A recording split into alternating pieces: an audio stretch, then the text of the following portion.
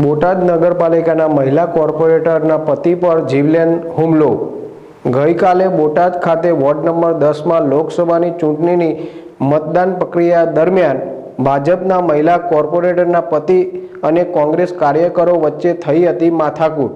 ત્યારબાદ બોટાદ પોલીસ સ્ટેશનમાં સમગ્ર મામલે સમાધાન બાદ આજે સવારે કોર્પોરેટરના પતિ પર ધારદાર હથિયારો અને લાકડીઓ વડે થયો જીવલેન હુમલો. વધુ સારવાર માટે ભાવનગર ખાતે મોકલી આપવામાં આવ્યા.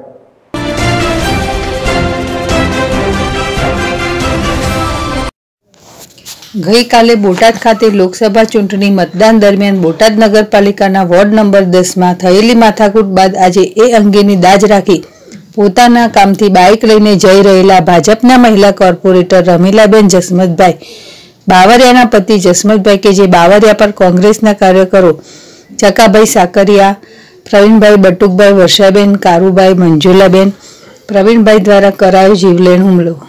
બોટાદ ખાતે ગઈકાલે યોજાયેલી ચૂંટણીમાં વોર્ડ નંબર દસમાં ભાજપના મહિલા કોર્પોરેટરના પતિ અને કોંગ્રેસના કાર્યકરો વચ્ચે થઈ હતી. માથાકૂટ જે મોડી રાત્રે પોલીસ સ્ટેશન પહોંચ્યા બાદ સમાધાન થઈ ગયેલ.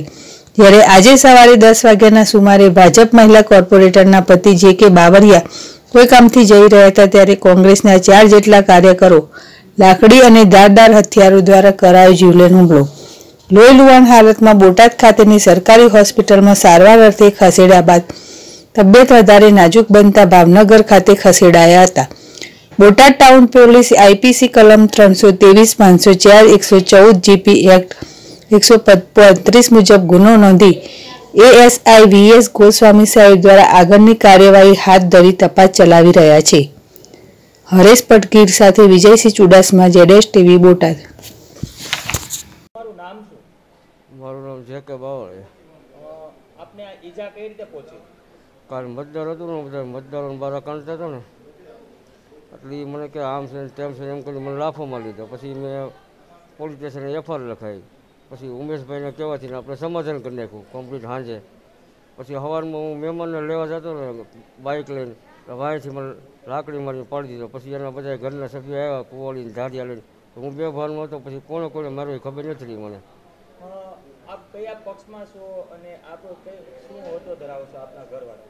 મારા ઘરના ભારતીય જનતા પાર્ટીના વોર્ડ નંબર દસના સભ્ય છે અને હું ભારતીય જનતા પાર્ટીનો સક્રિય કાર્યકર છું. તો આ હુમલો કરવાવાળા કોણ હતા? કોંગ્રેસના લોકો. કઈ ઠેકાને બનાવ બન્યો? મારા ઘર પર. આ બારામાં પોલીસને જાણ કરી આપે? હા.